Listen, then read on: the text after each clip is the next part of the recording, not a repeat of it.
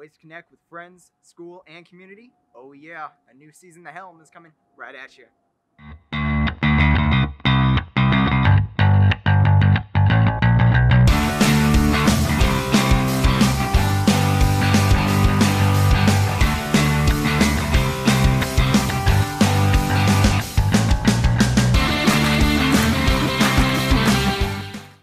Hi, I'm Reagan. Welcome The Helm, where we bring you information that'll keep you involved with your friends, school, and city community.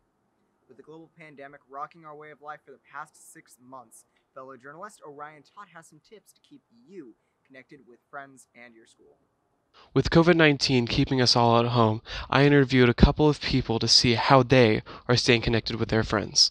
earlier, like I moved, and so I, I'm not living in Washington anymore. So it's like haven't made any friends here because of coronavirus. So it's like Discord. I'm able to communicate with friends back home just really easily. And like, I'm not a social media type person. I don't have Snapchat. I don't have like uh, Facebook. I don't have any of that stuff. So Discord is just kind of a lifesaver. If I'm being honest. I am on Discord like half the time, just just sitting in voice chat waiting for someone to join whenever I finish my homework. I also asked them if they had any tips if you are struggling to stay connected. Discord works pretty well for me, and I don't know, texting people. I mean, for me, I, I've been doing a lot of like like reading, a lot of just kind of like activities to distract myself, like playing games with friends, playing games by myself, even reading, um, just like just some stuff to keep you distracted, uh, and then until you legitimately can have contact with people is is what I'd say. And this is Orion Todd for Viking Student Media. Thanks, Orion. Now, with the 2020 21 school year now in session, the Video Game Club has made a comeback with virtual gaming tournaments. And here's teacher Mr. Cockle to give us an inside look of what you can look forward to with the Video Game Club. Oh. Hey, Mike. Mr. Cockle here, advisor of the Video Game Club at PHS. We're here today to show you something pretty cool. So, go ahead, check it out.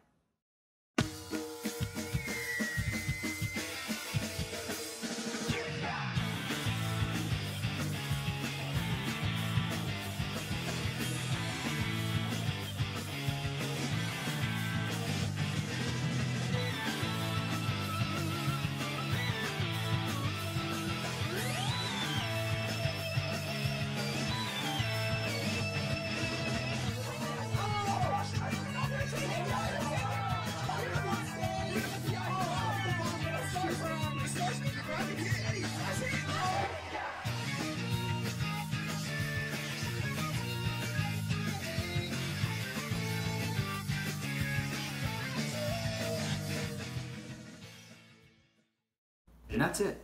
That's the Video Game Club. It's a big part of what we've been doing here for the last year. Last year we focused a lot on, obviously, Super Smash Bros. Ultimate. We hosted tournaments almost every single month last year, even in quarantine. We were able to continue doing tournaments online throughout the end of the year and the summer as well. This year, we're looking to expand our ability to do tournaments beyond Super Smash Bros. Ultimate to games like the following.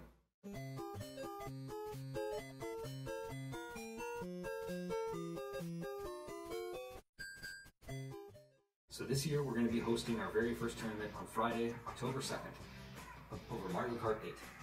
If you're interested, please contact our president, Michael Ransford, our vice president, Orion Todd, and they'll get you connected. Afterwards, we're going to continue with hosting regular meetings starting Friday, October 9th. I hope to see you there. Happy gaming. The Video Game Club is hosting a virtual Mario Kart 8 Deluxe tournament this Friday on October 2nd, and applications open today on September 28th, so make sure to fill in those spots. Now, the month of September has looked a lot differently than it has in years past since the fair has ceased regular operations, but this has not stopped them as they have produced fan favorites like Krusty Pups and scones through their fair drive through. Myself, along with Leo Quali, went and captured some of the sights and sounds of the fair drive through, and here's how it went. The Washington State Fair, or as locals call it, the Puyallup Fair, has been a Northwest staple for the past 120 years.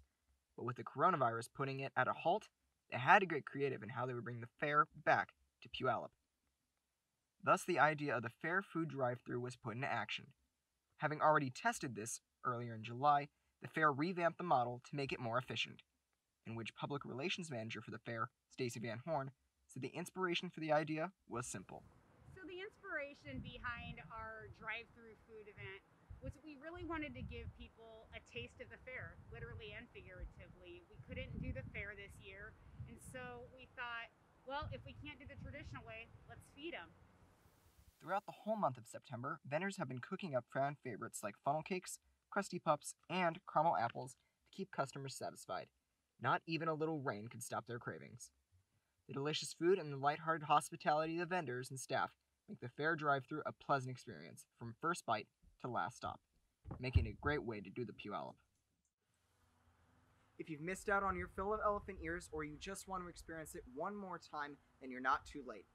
The fair will be open one more weekend, the weekend of October 2nd through the 4th from 11 a.m. to 7 p.m. So make sure to visit and do the Puyallup while you're there. That pretty much wraps it up for this episode of The Helm. We thank you so much for joining us, and a huge thank you to Leo Qualley, Orion Todd, and Isabel McAnally for your hard work. From all of us here at The Helm, I'm Reagan Aho. Stay safe, stay connected, and stay Purple Bikes.